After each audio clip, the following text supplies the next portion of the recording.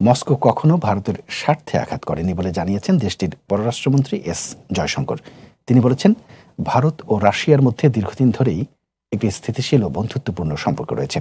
Moscow কখনো তাদের স্বার্থে আঘাত করেনি। ইউক্রেন, রাশিয়ার মধ্যে চলমান যুদ্ধের মধ্যেই এমন মন্তব্য করলেন জয়শঙ্কর।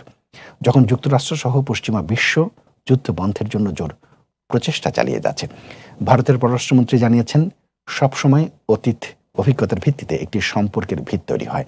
স্বাধীনতার পরবর্তী সময়ের ইতিহাসের দিকে লক্ষ্য রাখলে দেখা যায়, রাশিয়া কখনোই তাদের স্বার্থে আঘাত করেনি। সবসময় একটি স্থিতিশীল ও অত্যন্ত বন্ধুত্বপূর্ণ সম্পর্ক রয়েছে। আর নয়াদিল্লির সঙ্গে মস্কোর সম্পর্কটি অভিজ্ঞতার উপর ভিত্তি করে তৈরি হয়েছে।